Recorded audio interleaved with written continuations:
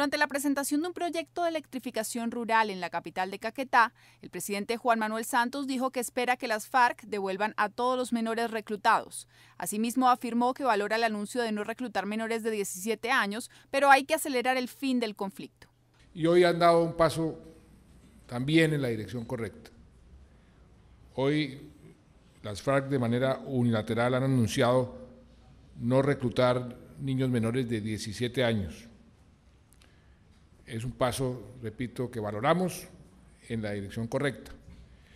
Pero no es suficiente, sobre todo cuando se trata de los niños. Primero, no entiendo por qué 17 años. la norma establecida son los 18. Pero tampoco entiendo que se queden en la mitad del camino.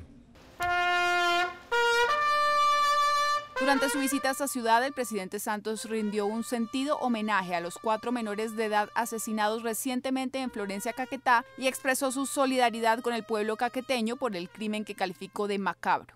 Y he venido aquí a, Florencia, al Caquetá, a expresar nuestra solidaridad con ustedes, con los caqueteños, a nombre de todo Colombia.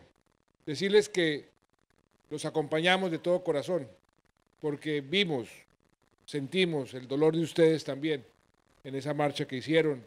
Igualmente, en Florencia, el gobierno está cumpliendo la promesa de entregar viviendas gratis con conexión a Internet para cambiarle la vida a los colombianos. Así lo manifestó el mandatario durante la entrega de 120 conexiones de Internet a igual número de viviendas.